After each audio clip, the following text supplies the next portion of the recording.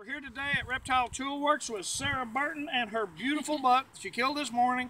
Um, Sarah is one of the original Apaca chicks, so uh, as soon as she said she had one down, she called us because we've got a new tool that we're extremely excited about, which is the new Hustler large game preparation tool. Also makes a great camp tool, does some other work. But she's here today with a Hustler and with our standard camp knife, and we're going to demonstrate a new feature on the Hustler called Belly Zipper. Okay, now, oh, hang on. We did drag him out a minute ago using instant bowstring, so don't forget this is the best way to get your carcass out of the uh, uh, out of the woods without damaging the antlers or anything. The touch is very soft, and then, like I said, once it's bloodied up, you can just throw it away. So, Sarah, congratulations on getting a great animal. Now, we're going to go through some slower steps on field dressing, but the steps we want to show you we'll keep in, but we're going to do a little Julia Child here and cut it up just a little bit so you can. So we're going to get them in position to do the belly zipper, to open the abdominal cavity. Then she's going to show you how this tool reaches way up into the cavity for the purposes of cutting out the heart, and esophagus, and removal of the lungs. Then we'll do the pelvic split with it, and then show you how the front is used to take care of the sternum. Okay, so view along and we'll edit it properly. Thanks.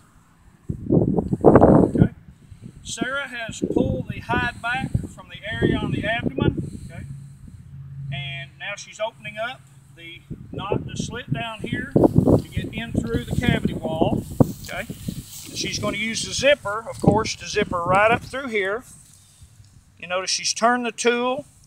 She's picked up the cut. She's just under the skin. And now she's using the zipper feature to come right up through the carcass. May have to move the knife just a little bit. There you go. There you go. Right on up. Right on up.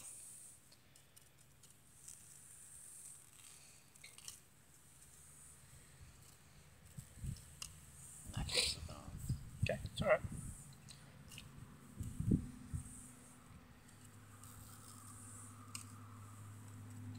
Okay. Push it a little harder there. Good. Get back under it there. There you go. All right. And back up a little bit. All right. Look how clean that separates. Everything's in good shape. We're to go ahead and push on up to the top a little bit and dump the cavity.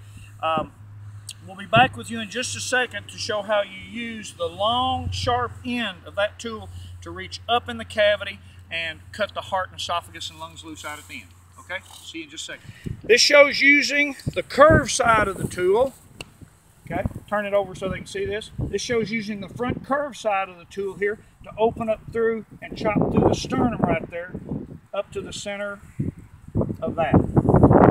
With the curved portion of the tool, missing the top of the stomach and everything, you can come in and very gently, go ahead, you can chop that area out and forward with a lot of control for the purposes of opening up the chest cavity. Okay? With this curved portion of the blade, she can come in and split the pelvis and watch. It takes almost no pressure.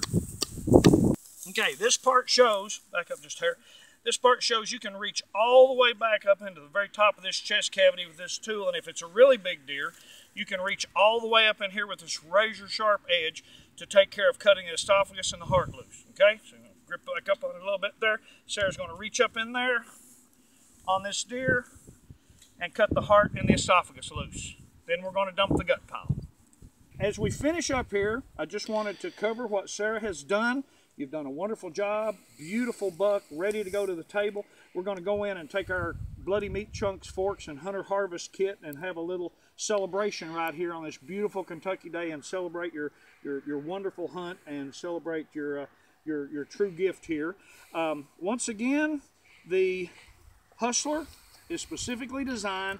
I mean, you can use it for camp work or work around the house, but it is specifically designed to do what it did right here, which is allow you to come in, use the belly zipper feature to open the cavity, okay? Use the curved blade here to chop up through the sternum into the heart and lung cavity.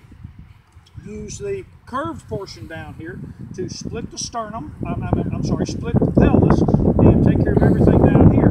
Now we're going to dump the, uh, the, the blood things out of the cavity here, hang the deer and move forward.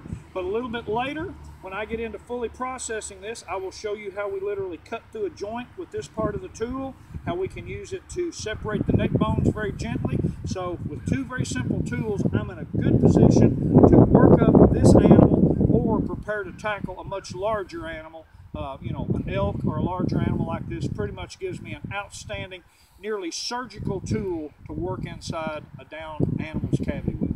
All right? Thanks. God bless you.